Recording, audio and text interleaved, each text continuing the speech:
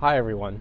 It's currently 7:55 in the morning on August 15th, 2021, and I'm in Renfrewshire, Scotland, where I will be beginning my journey to cycle to all 12 of the Scottish Premiership football stadiums. I plan to cycle the entire route. It's going to take me 5 days, and along the way I'll be staying at Airbnbs.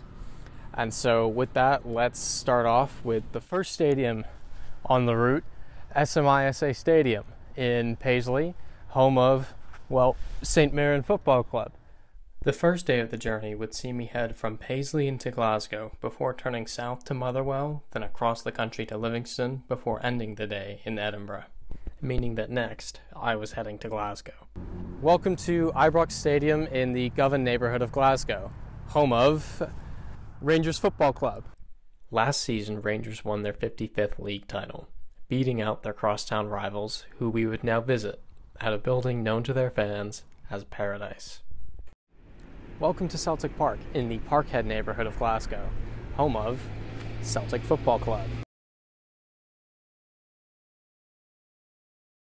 With the Glasgow clubs done, it was time to head south toward Motherwell. I'm in Hamilton right now, and I have a bit of a, an issue this right here, which keeps in the pannier bag, the bolt came out from it at some point. I I don't really know where. And so I've got to I've got to find a hardware store, but I don't really have signal here, so it's going to be a challenge. This will be fun. I'm currently cycling right now, and I've I've turned the camera on so that you can hear how annoying it is to not have that bolt in there.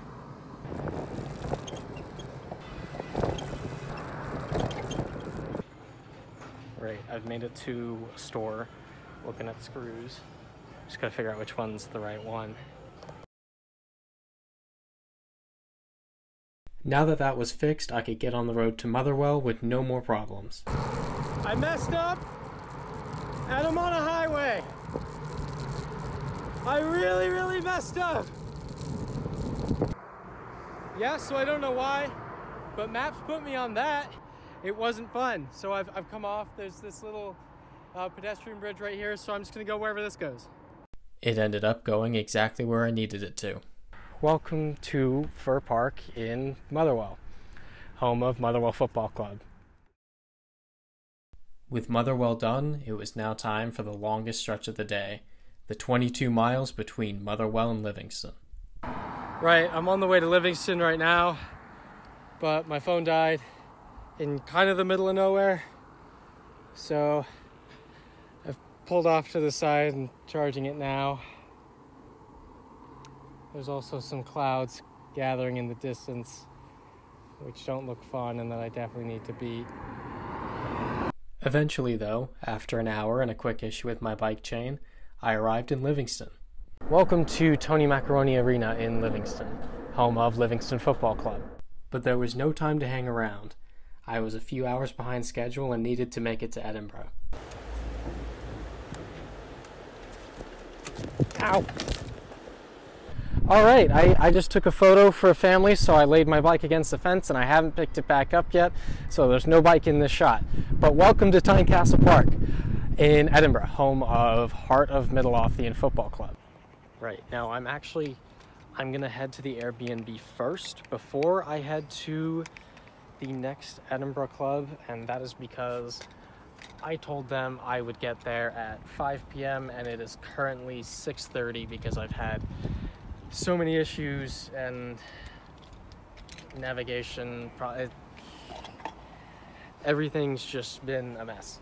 So I'm going there first to check in uh, closer to the initial check-in time. All right, I have made it to my Airbnb. I've checked in. Turns out, Easter Road, which is uh, the home of Hibs, and the next stadium I need to go to is at the end of this road.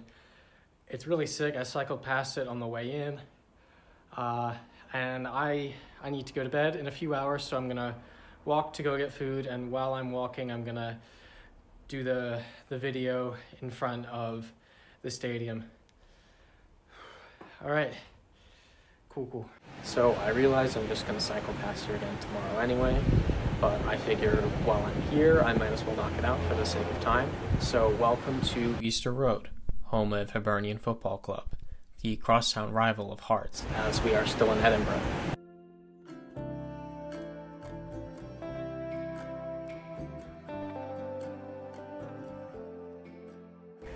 Right, so as I was getting in yesterday, I was having an issue again with the bag staying on here. I figured, or I'm not quite sure where it is because I can't see.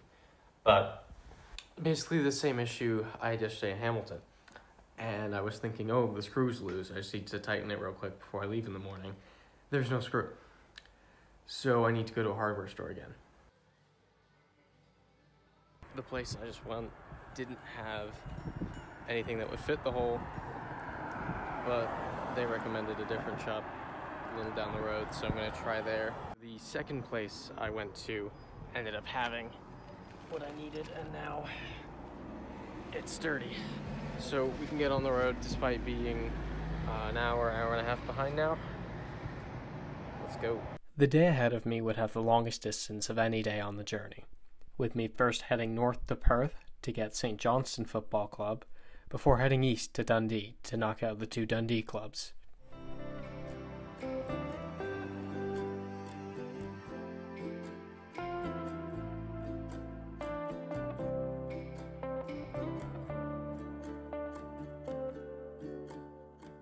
Alright, I'm in Kinross now, uh, 18 miles south of Perth.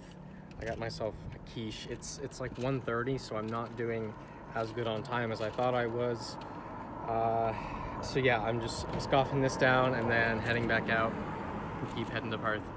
I would eventually arrive in Perth just shy of two hours later. Welcome to McDiarmid Park in Perth, home of St. Johnstone Football Club.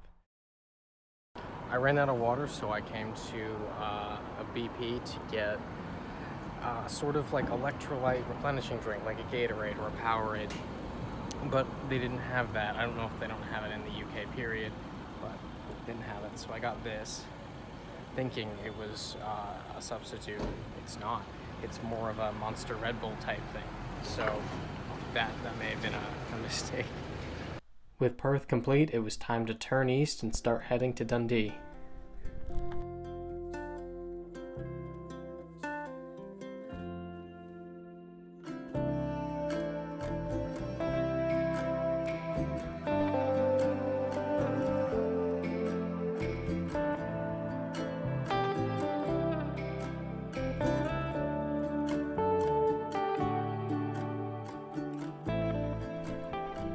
To Tannadice Park in Dundee, the home of Dundee United, who share the city with Dundee Football Club. Now, the thing is, these two share a fairly friendly rivalry, as well as a road. The two club stadiums are on the same road and fairly close to each other. And to illustrate just how close they are, I really quickly I want you to remember this brick wall right here we're going to go down to the corner of it. So I just want to show you. Remember that corner. That's where we're going to be in a second. Right, so you remember to this corner? Cool. Ugh. No cars coming.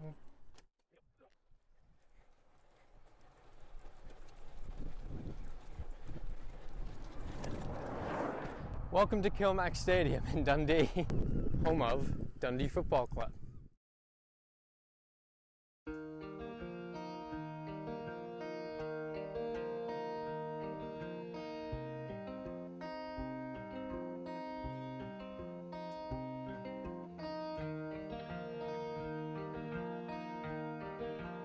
Right, I'm outside Greggs. I've just eaten a ham and cheese baguette. I've gotten another one for lunch later when I eventually get hungry. And I went ahead and got another one of these because it was actually uh, really, it was enjoyable yesterday. So, yeah, we're gonna head to Aberdeen now, actually, just once I put this all back in the bags. All right. Today would be a fairly straightforward day, as I would just be heading the 75 miles north to Aberdeen to get Aberdeen Football Club. Now, to get to Aberdeen, we're going to be taking Cycle Route 1 most of the way, I'm pretty sure, which is awesome because it means we're not going to end up with any awkward roads, any motorways. It'll just be cycle route, you know, roads and or paths dedicated for cyclists to use them. So it'll be a safe ride to Aberdeen and hopefully an easy one.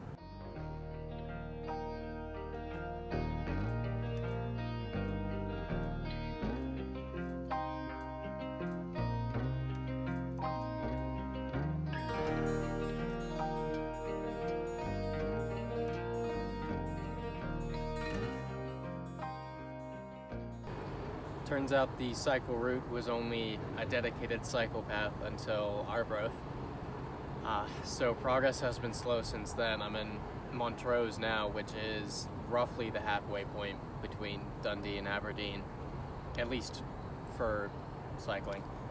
I'm about six miles from the halfway point, and it's only, I think it's 11:30 right now, and I left at 7:30, so we're making really good time. That's almost halfway in four hours.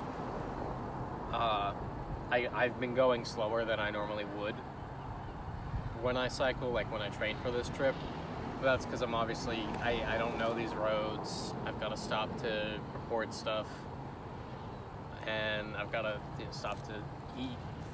Although I, I, I'd stop to eat normally when I was training for this, so that that's kind of built into the times I was expecting. But it has taken me longer to get places than I expected. And this would only continue as roads turned to gravel and gravel turned to grass. But eventually I would make my way up to Aberdeen. Welcome to Pittodrie Stadium in Aberdeen, the home of Aberdeen Football Club.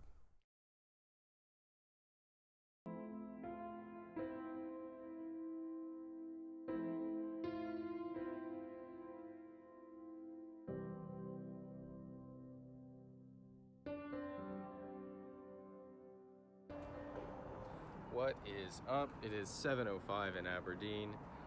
I've come to this convenience store and I got another one of these bad boys and I got a sandwich for later because I'm I'm still kind of full from dinner last night so no breakfast right now but yeah gonna get in the road Today was supposed to be the easiest day of the journey, with it being just 63 miles between Aberdeen and my destination of Buckie, with no football stadiums to visit along the way.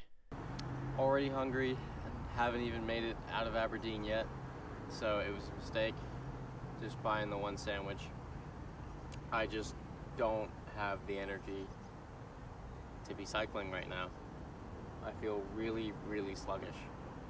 Um, so I'm probably gonna stop at another convenience store and get an energy drink because this one that I thought was like a Gatorade the other day but was an energy drink is more like a Gatorade today. So that's on me for not realizing that. Slowly, I would eventually reach the town of Old Meldrum, which I thought was Inverurie, the town next door. I'm in Inverurie. I've stopped for a sandwich and I'm making terrible, terrible, terrible time. I'm 19 miles in and it's been almost four hours. And that is because the wind is killing me. I'll, on descents, I feel like I'm going like normal speed and going up hills it's it's unbelievable it's it's almost like i'm not moving so it's been an extremely frustrating past hour or so.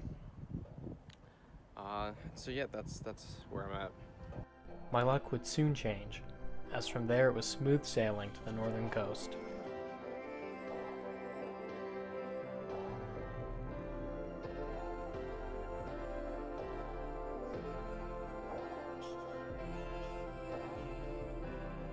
Though not long after arriving, it started to rain, so I pulled out the plastic bags to ensure I wouldn't have wet shoes tomorrow, and made my way to the hotel for the night.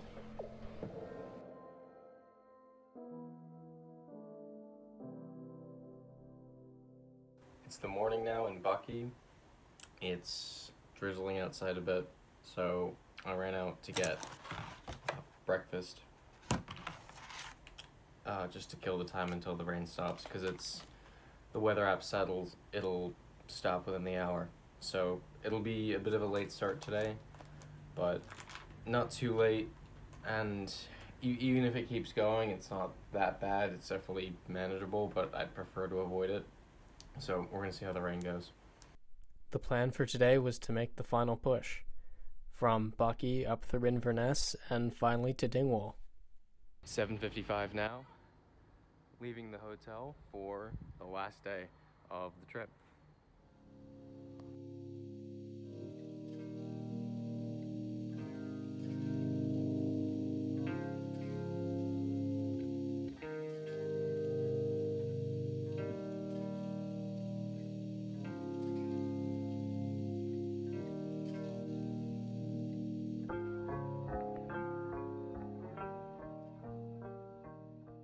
into some mild problems that I don't think will turn into major problems, hopefully. First of all, this bolt is giving me some trouble again because uh, well that that grass bit back there was really bumpy and kind of knocked it out of place a bit. Um, it was making noise, it isn't now, so we're just gonna hope it remains that way. Uh, the other issue is this backpack strap is starting to tear. And I don't know how long it'll hold like that but it's been my main backpack since I was 13 and I'm 22 next week so it's it's lived a good life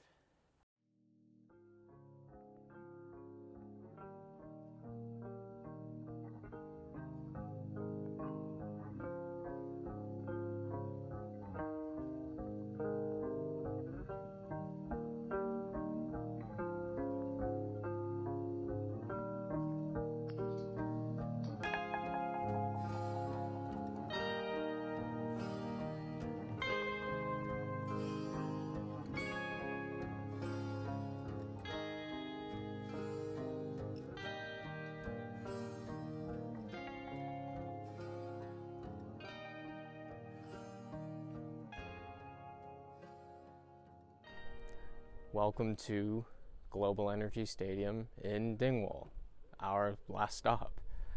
It's the home of Ross County Football Club, and the stadium holds 6,541 people, while the town of Dingwall only has about 5,500 people. So you could fit the entire town inside the stadium and still have it only be at 84% capacity. But that is it